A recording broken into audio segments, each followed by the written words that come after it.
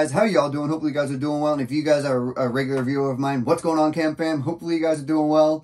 And uh, for those of you that are new to my channel because you clicked on this video because it has to do with weightlifting and fitness, welcome to my channel. My name is Kam. I normally film around the cars and the car scene, but that is not today's instance. I am filming around, you know, the fitness industry and all that. So uh, I thought, why not start off the video with something simple and easy to explain. So today's video is about sumo deadlifts versus the standard conventional deadlift. So what is a deadlift and why do why do we do it? Well, a deadlift is a compound exercise where you have a barbell with weights on each side and is on the ground and you bend down and pick it up and you stand up and the barbell comes to about waist level and uh, the sumo style deadlift is very much different than your regular standard conventional style. So the sumo deadlift is obviously, you know, if you guys have been lifting for a while, it's you know, you guys obviously know what the difference is right off the bat. But for those of you that are new, sumo style deadlifts is where you are basically standing wider than your shoulders and you have your feet angled at about 45 to 50 degrees, maybe maybe a little less, maybe a little more. It's all up to you on what's comfortable. Uh, and you just stand up and, you know, same thing. It may be a little lower than your waist level because Obviously, for the people that are doing their regular standard conventional lift, they're going to be standing up much higher. They're going to have a much more greater range of motion, which I actually have some notes here that I want to uh, tell you guys. A study from 2019 of uh, from the Journal of Sports Science Medi Medicine shows that uh, a standard deadlift uses about 20 to 25 more greater range of motion, which you guys could probably tell because in a standard conventional deadlift, you're standing up much higher versus the sumo style, you're down to the ground much, much lower, reducing your greater range of motion. Now, some people think that the sumo deadlift is a cheat deadlift because you're not using your full range of motion due to the lack of range of motion lost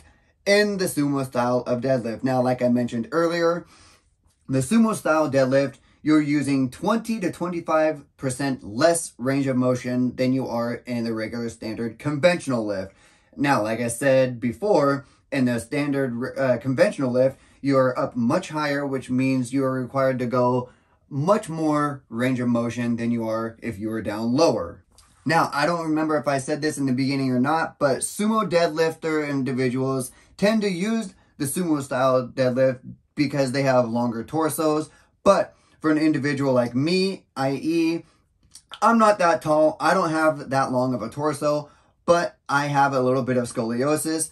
So sumo style deadlifts are also have studies have shown that they have also been a little bit easier on individual spine for taller people. Now, like I said, I'm not a tall person by any means. I'm only almost 5'9", 145 pounds, but uh, I am not a tall person, but since I have a little bit of scoliosis, the sumo style is a little bit easier on my spine and I don't feel like I have back problems versus when I do do the conventional lifts, I feel like my spine, uh, excuse me, I feel like it is a little bit harder on my back and I can't get the proper form and is much, much harder for me to lift the weight. Now, also, people seem to think that it's a cheat because you can lift more weights with the sumo style, which to a degree you can, but like I said, to each their own. You can lift a little bit more weight, but it is also a little bit easier because you're not going as high for the range of motion. So all in all, in conclusion, which one is the best and what do I recommend? Well, that is all up to you, the individual who is doing the compound exercise and lift.